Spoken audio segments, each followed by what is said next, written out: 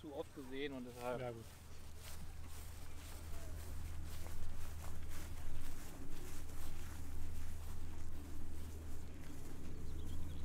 Station an.